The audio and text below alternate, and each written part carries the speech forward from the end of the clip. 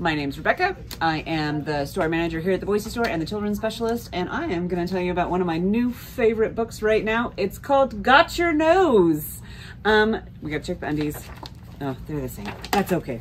Okay, so, but the end papers are great. Do you see that? Do you see that? Okay, so this is the story about a little girl and her grandfather. And I don't know about you guys, but my grandpa always used to play the game, Got Your Nose, right? Well, in this case, Grandpa got her nose, but he forgot to give it back to her.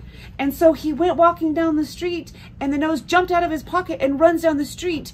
And then she doesn't have a nose and she can't breathe. She just can't breathe. So she goes, Grandma, Grandma, I need, I need to get my nose. I can't breathe. And so they go chasing after the nose and the nose gets into all kinds of hijinks.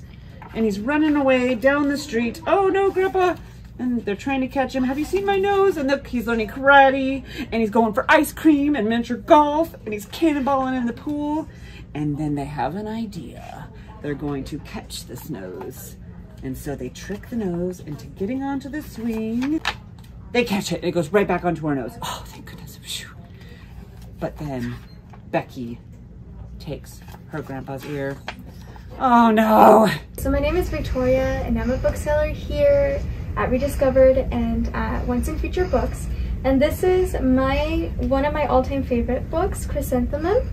I remember when I was very little, um, I was recommended, oh, I was told to read this book by one of my teachers.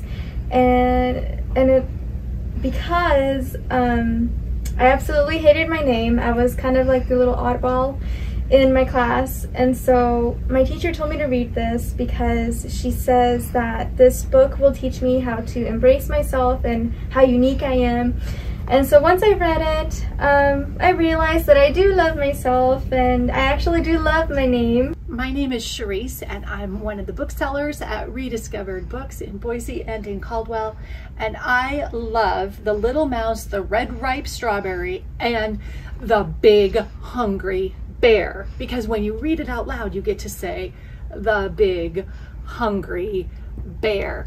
And this is an oldie but a goodie. And what I love is that the little mouse gets a little bit ahead of himself. The big hungry bear can smell a red ripe strawberry a mile away,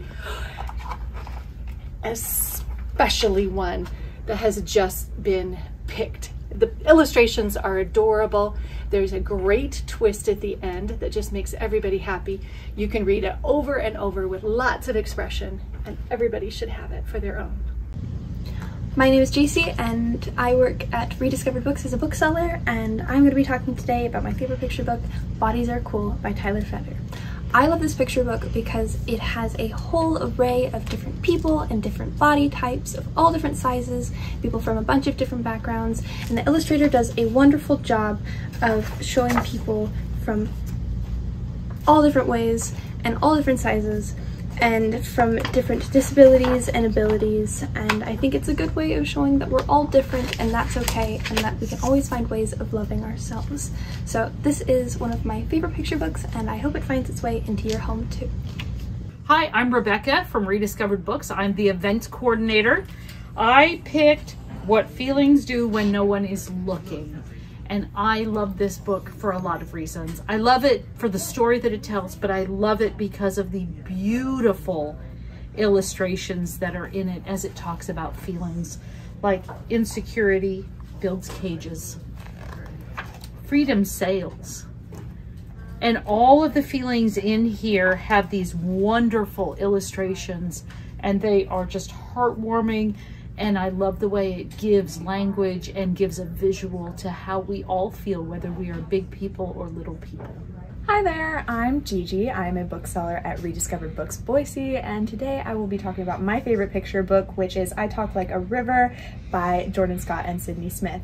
Um, the reason that I love this book is not only because it has beautiful art, which you can see inside, um, it's because it tells a story of inclusivity and how speech impediments are not necessarily a problem to be fixed, but one to be accepted in society. Um, it is ridiculously beautiful, and I just absolutely love it. Hi, I'm Maddie, a bookseller at Rediscovered Books and Once and Future Books, and I love Clementine and the Lion by Zoe Abbott, not only because of the story, but because it was the first book read to me by one of the store owners here on my first day as a bookseller.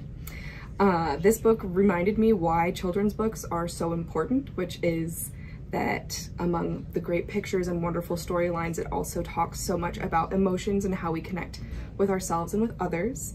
This book in particular I enjoyed because Clementine is very independent and makes a life all for herself until one day when a lion shows up and then she has to figure out how she's going to coexist with this lion and finally they become very good friends until one day Clementine's parents come back. They had disappeared at the beginning of the book and she decides to go on with her life as it was before.